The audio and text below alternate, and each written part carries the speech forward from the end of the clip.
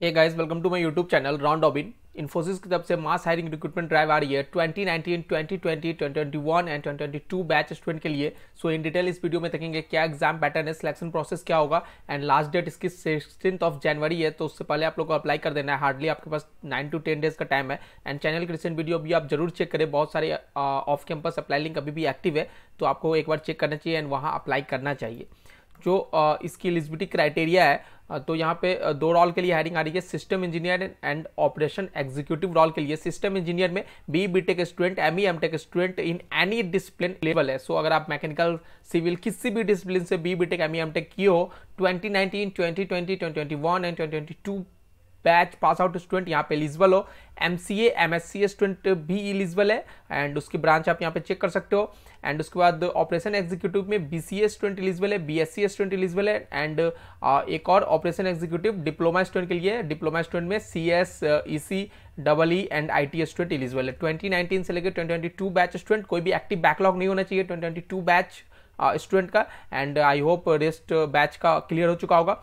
System engineer की जो role है उसमें आपकी पैकेज 3.6 एलपीए की मिलेगी एंड ऑपरेशन एग्जीक्यूटिव की रोल में 2.22 एलपीए की पैकेज आपको मिलेगी। एग्ज़ाम पैटर्न देखेंगे क्या आप किस सेक्शन में कितने क्वेश्चंस पूछे जाते हैं। आपको अप्लाई लिंक तीनों मिल जाएगा। So first system engineer role की अप्लाई लिंक आपको डिस्क्रिप्शन बॉक्स में मिल जाएगी। यहाँ पे इन्फोसिस एस जैन यहाँ पे लिखा हुआ है। सो so, इन्फोसिस अभी नवंबर में हायरिंग की थी दिसंबर में हायरिंग की थी जनवरी में हायरिंग की थी। अब मंथ वाइज इन्फोसिस हायरिंग करना स्टार्ट कर दी है। तो अब सबसे बड़ा क्वेश्चन मार्क ये आता है कि जो स्टूडेंट लास्ट सिक्स मंथ में एग्ज़ाम दिए है, वो यहाँ पे एलिजिबल है या नहीं, वो अप्लाई कर सकते हैं या नहीं।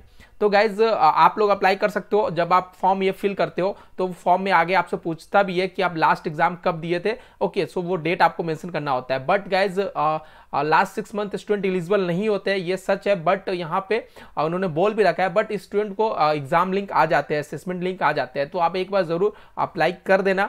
एंड मैं ये भी बोलूँगा कि जो स्टूडेंट का भी डीएससी और एसपी का एग्ज़ाम नहीं हुआ है तो आप लोग वो अपना प्लान कर सको कर सकते हो कि सिस्टम इंजीनियर की एग्ज़ाम देना है या फिर डीएससी और एसपी की एग्ज़ाम देना है। अगर आप डीएससी एसपी के लाइक लेवल के कोडिंग आपको नहीं आती है तो आप एससी सॉफ्टवेयर इंजीनियर की एग्ज़ाम सिस्टम इंजीनियर रॉल की एग्ज़ाम दे के आप इसमें प्लेस्ड हो सकते हो। तो ये आप लोग ऐसा कर सकते हो।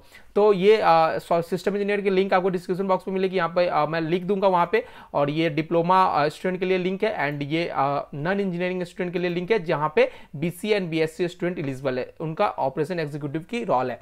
सो इन डिटेल यहाँ पे देख लेते हैं एग्ज़ाम पैटर्न उससे पहले मैं आप लोग को बता दूँ कि सिक्सटीन ऑफ़ जनवरी ही इसकी लास्ट डेट है. तो इससे पहले आप लोग को अप्लाई करना है एंड अपने सारे फ्रेंड के साथ शेयर कर दो. एंड या सो कुछ स्टूडेंट का दिसंबर में वो अप्लाई नहीं किए थे because of six month criteria तो मे बी उस स्टूडेंट का अभी उनका कंप्लीट हो गया होगा सिक्स मंथ क्राइटेरिया जनवरी में. क्योंकि मई जून स्टूडेंट बहुत सारे स्टूडेंट शायद नहीं अप्लाई किए रहे होंगे.